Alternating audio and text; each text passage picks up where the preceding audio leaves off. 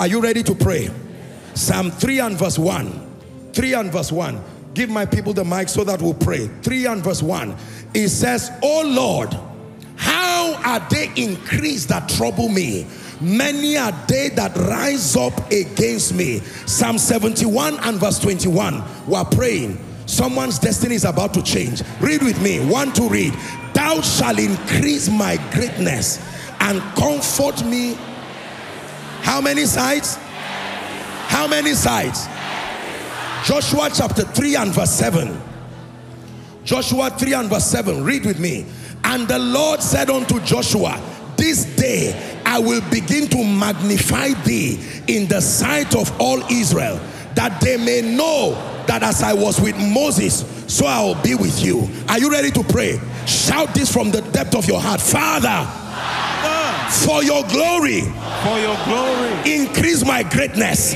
Go ahead and pray increase my greatness for your glory. Father, for your glory, increase my greatness. Take away smallness from my destiny. Increase my greatness.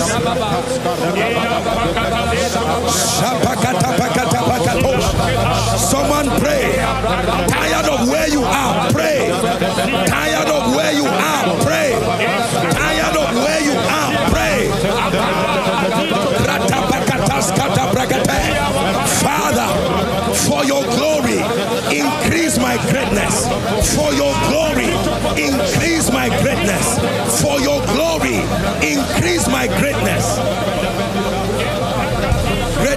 Your heritage. Are you praying? Shapakata barakatos, Grateka barakatas, Ratabataka paskata brandagatesh, Rates kata barakos. Increase my greatness. Increase my greatness. Increase the greatness of my family for your glory. Thou shall increase my greatness and comfort me. Someone pray. Someone pray. Someone pray.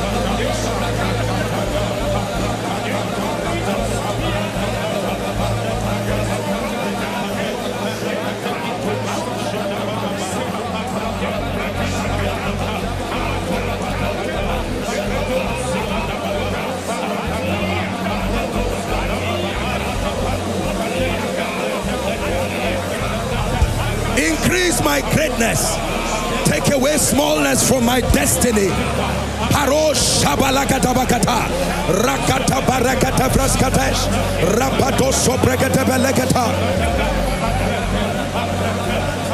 In Jesus' name we pray.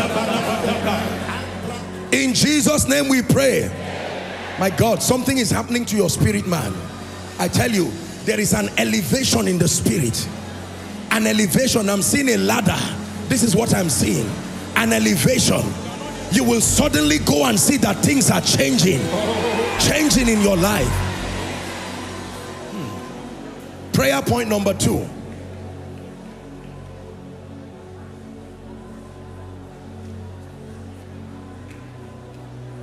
Take it down for me. For the last one month, this prayer point has not left my spirit. Restore everything that was lost. Restore everything that was stolen. Restore everything that was lost. Restore. You will restore.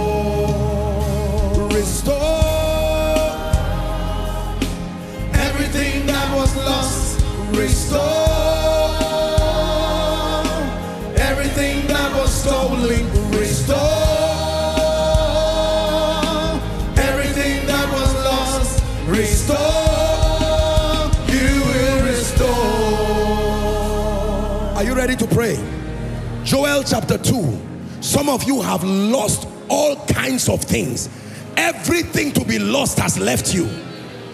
You have lost opportunities. You have lost relationships. You have lost joy. You have lost strategic resources. It's time to have it back. Joel 2.25, and I will restore to you the years, and I will restore to you the years. God can restore time. Did you hear what I said? God can restore time. I will restore to you the years. If God cannot restore time, then he's not greater than time. If it is he is greater and higher than the realm of time, then he must sustain the ability to restore time. Jeremiah 30 and verse 17. Please give it to us quickly. We are praying. Someone's life is changing. For I will restore health unto you. Those failing organs, those failing body parts. You are just 20, 30, and yet they are telling you that you are losing certain things. It's time to be angry. God does not just restore time, God restores health and vitality. Psalm 41, 1 to 3. Blessed is the man that considereth the poor. The Lord will deliver him in time of trouble. Verse 2. The Lord will preserve him and keep him alive. He says, and he shall be blessed upon the earth. He says, thou will not deliver him to the will of his enemies. Shout verse 3 together. The Lord will strengthen him in the bed of languishing and I will make all his bed in sickness. God will not allow him to die, not allow him to deplete and famish.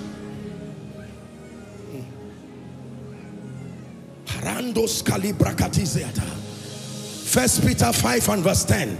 I like this one. God is restoring. But the God of all grace, who has called you to his eternal glory, he says, after that ye have suffered a while, what does he do? Make you perfect, establish you, strengthen you, and then settle you. Say it again. Make you perfect, establish you, strengthen you, and then settle you. Say, Father, I decree, I declare divine restoration of opportunities, of relationships, of resources, of men, of my joy. Now, open your mouth and pray. Restoration.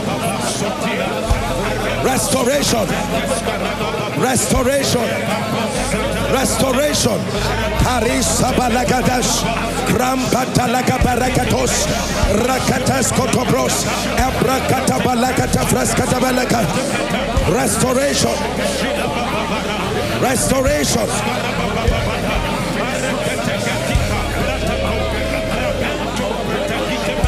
Restoration. Restoration. Restoration. Restoration. Restoration. Restoration. Restore joy. Restore years. Restore things. Restore men. Restore resources. Shabakaparos, Rakata Braskata Vaskabash, Ratakata Rakata Koto.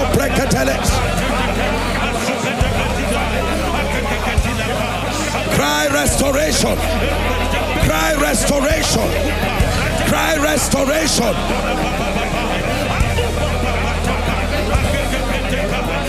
In Jesus' name we pray. In Jesus' name we pray. Job chapter 42 and verse 10. And the Lord turned the captivity of Job when he prayed for his friends. And the Lord gave Job how many? How many? As much as he had before. The Lord turned his captivity, but he did not stop there. God restored by giving twice. Are you ready for the third prayer point? We have five in total, but we'll pray three now. And then I'll begin to minister deliverance.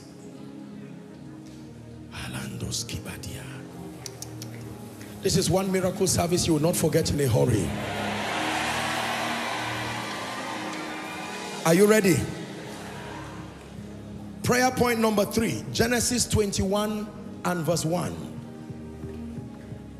It's one thing for God to speak, but it's another thing for his word to manifest speedily. Speedily. Listen, God's word can be sent, but it must arrive speedily.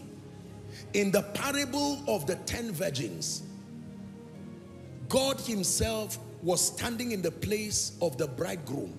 It was the delay of the arrival of the bridegroom that made the oil of other virgins to finish. If the bridegroom came on time, all 10 of them, they were virgins. Are we together now? It was the delay of the arrival of the bridegroom that made five to suffer loss. So when it does not arrive on time, your resources can pay for it. It says, satisfy me early with your mercy. Genesis 21 and verse 1. The Bible says, and the Lord visited Sarah as he has said. And the Lord spoke unto Sarah. Now watch this. You would think it just happened the next day. Look at how the Bible summarizes it. But let me break this scripture down for you. The Lord visited Sarah as he has said and the Lord did unto Sarah as he has spoken. This is a spiritual reality. But the manifestation of this took 25 years before it arrived. Don't you think he just said it and it happened the next day? You see, the way God talks and the way he behaves, he expects his word to have come speedily. Whatever happened in the realm of the spirit that prolonged that situation, Jesus looked at the man in John chapter 5 and said, why are you still in this condition? And he said, I have no man. And it made his tragedy become 38 years. The woman who was bent for 18 years, and another had hemorrhage for 12 years. Why does the Bible attach numbers to these tragedies? The Bible would have just said a certain man was sick Abraham and Sarah were barren, trusting God. The man at gate, he had been there a long time. But the Bible is so meticulous, it attaches numbers. Notice when Jesus came, he did not honor the longevity of their pain. He made them know that for all of them, a possibility existed to have received the miracle earlier. Are you ready to pray? Let me give you one more scripture. This one we are going to pray because there are some of you, you can't wait again till December. No, the Bible said this is the day. Not this is the week. Not this is the month. There are days, there are weeks, there are months, there are years. Whichever one your faith defines is what becomes your reality. If your faith is for years, save journey. If your faith is for months, save journey. He said, give us this day. Give us when? One more time. So God can give men this day. There are times they will say, after five months, on the sixth month of the seventh year, the word of the Lord came. But Jesus himself said, when you pray, remind the Father that is within his power to give you this day. Give me this, this day. Give me liftings this day. Open a door for me this day. Are you ready to pray? Joshua chapter 21 and verse 45. Give us amplified. We're still praying. Don't give up on God. Because he won't give up on you. He's able. I'm charging your faith as we get into this place of prayer. I know him. My God is able to do just what he says he will do. He's gonna fulfill every promise to you.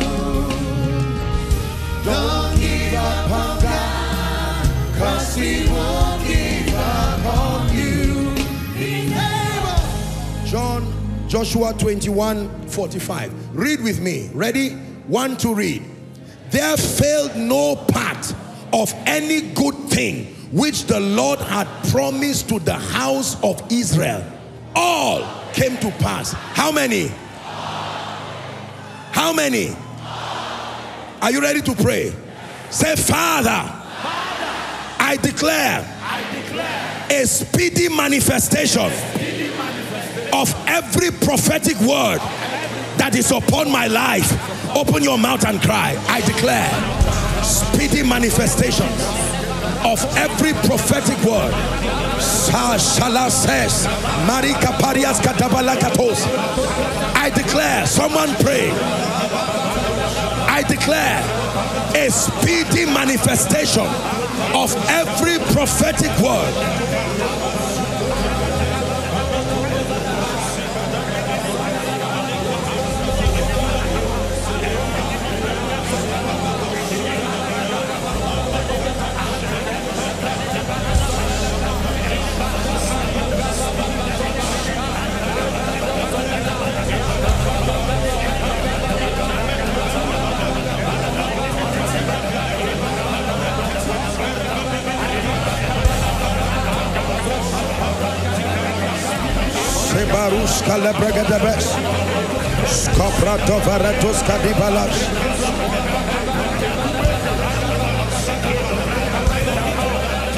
Speedy manifestation. Speedy manifestation. You have spoken. Let it come to pass. Today, you have spoken. Let it come to pass. Now, you have spoken. Let it come to pass. Now, you have spoken. Let it come to pass now.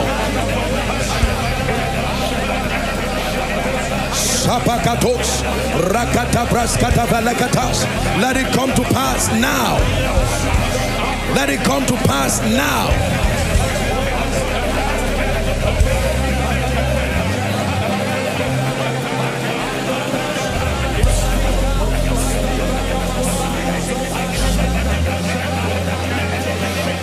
In Jesus' name. In Jesus' name. My God, I'm tempted to give you the next one. Just endure. Let me give you the next one. Huh? Are you ready for the next one? John 14, 11. I have to give you the next one. This is why you came. He said, believe me that I am in the Father and the Father is in me. And if that revelation is what cannot make you believe, he said, believe me for the sake of the results. Believe me for the work's sake. Results can make men believe God and believe you. Did you hear what I said? Results can make men believe God and believe you. We read John 15, 8 earlier on. Hearing is my Father glorified when ye bear much fruit. Not just fruit, much fruit. Great results. John 15, 16. You have not chosen me, but I have chosen you and ordained you. Hallelujah.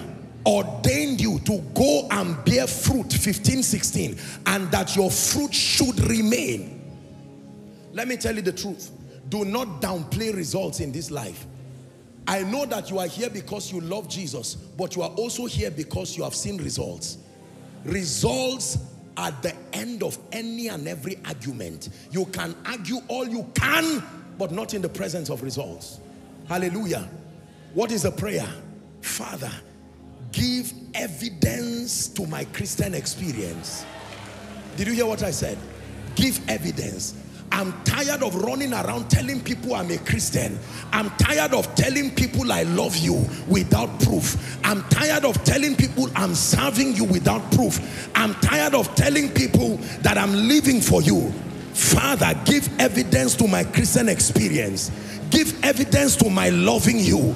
Give evidence to my serving you. Give evidence to my trusting you. Are you ready? Say, Father, in this season, in this season give evidence, give evidence to my Christian experience. My Christian experience. Results, results. Genuine, results. genuine results. Open your mouth and pray. Bring me into a realm of authentic results. Give evidence. Give evidence. Are you praying? All the overflows, pray.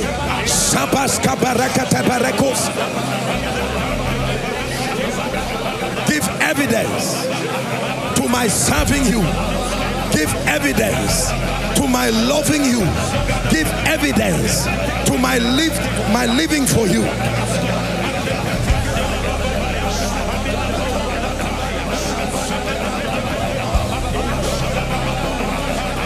Shabraska barakatosh. Krataka barakata freska balakatosh.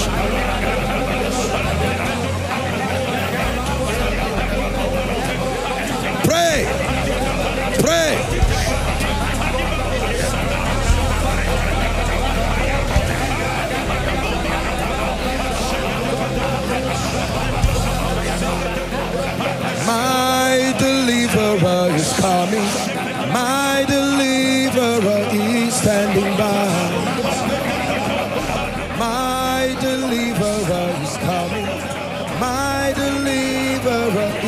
Standing by.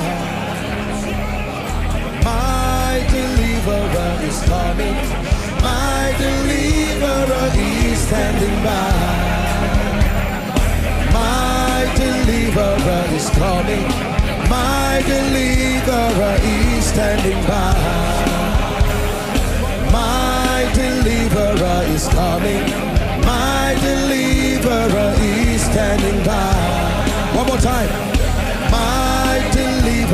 is coming.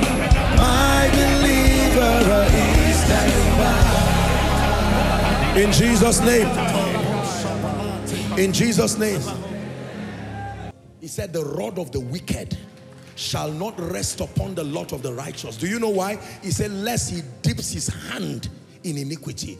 I've seen people who love God, they are not lazy, but they live their lives begging. They never get to a point where they can live a decent life. No, they beg, their wives join them begging, their children join them begging, their grandchildren join them begging, their entire lineage lives by begging. Shout no way. One more time, shout no way. Whatever you permit, whatever you tolerate remains in your life. I'm saying this because everything that is not of God, He must let you go. Now, there are, there are families where the parents and the elderly people remain, but the children die leaving the parents. You see a family full of old people with no young man to help them. He said, I write these things to you fathers. I write these things to you young men. I write these things to you children. This is what makes a complete generation. There must be elders, there must be young men, there must be children. No generation is safe without elders. No generation is safe without young men. No generation is safe without children. When Satan wants to suspend continuity, he looks for one of these three.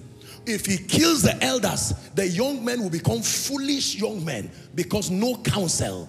When he kills the young men, there will be no continuity because the elders will pass on one day and the children will not have a way to be trained well. When he kills the children, you now see the spirit that was in Pharaoh and he was negotiating the exodus of God's people. Let some go and let some stay. And Moses said, you are joking. All of us, our wives, our children.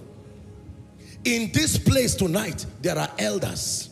In this place tonight, there are young men. In this place tonight, there are children.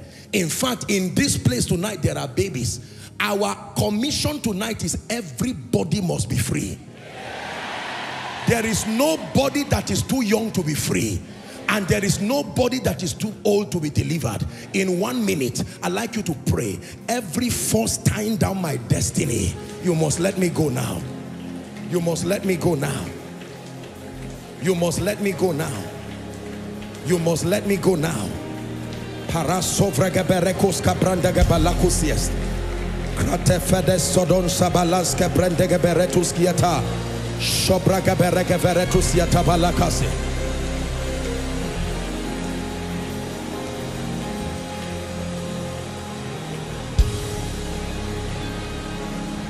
In the name of Jesus. Everyone shout this after me. Say, Father, every curse, every enchantment, every demonic arrangement orchestrated by men and by spirits against my life and my destiny, let it be destroyed now. Open your mouth in one minute and pray.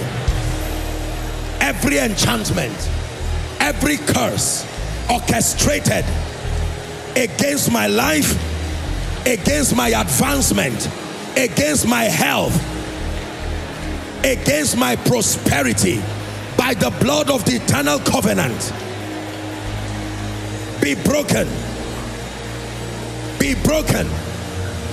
Be broken. Be broken.